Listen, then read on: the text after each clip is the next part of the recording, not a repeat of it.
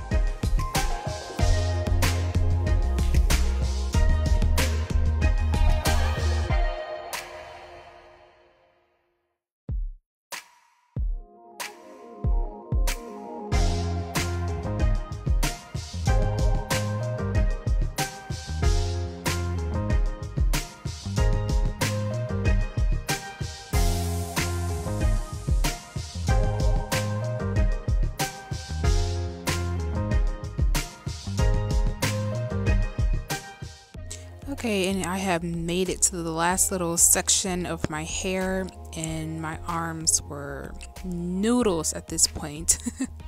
Even though it only took me about two to three hours, it was very um, tedious with the twisting, and so I'm on the last one, and I'll show you guys the end result.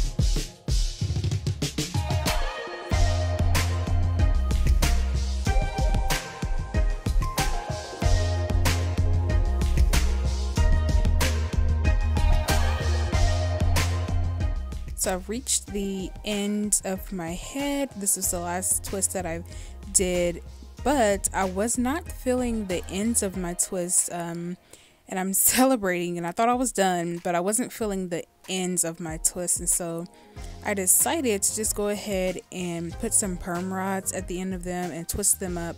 I did not add any product to the ends of my hair because I still wanted to keep it that natural look. I didn't want it to look perfect, no jams, no gel. And so I wanted it to just be kind of frizzy and kinky. So I didn't add any product at the end of this. I just added it to the perm rod and dipped it into the hot water.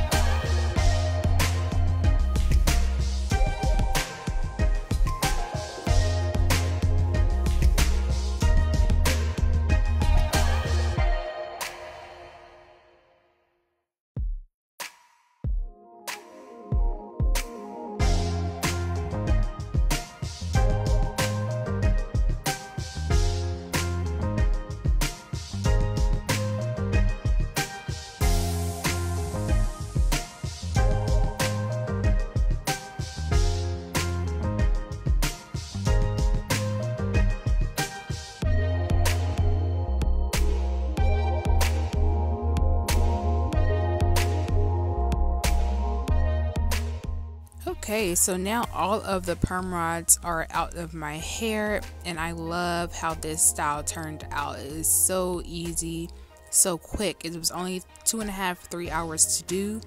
Um, and that might seem long for some of you, but I have set more than four hours before. So this was pretty quick. This was pretty simple for me. Um, and this would, uh, like I said earlier, would be my go to hairstyle. It is so versatile it's so easy and it's so just super natural. So I hope you guys enjoyed this look. I thought it was super cute and I was so happy to be done.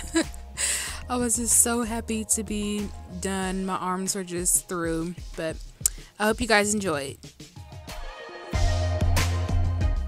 and here I am just cutting off some of the ends um, the ones that did not get curled at the end of the perm rod and other than that I absolutely love this style. So you'll see me just going through and clipping off some of those straggles at the end. So hope you guys enjoy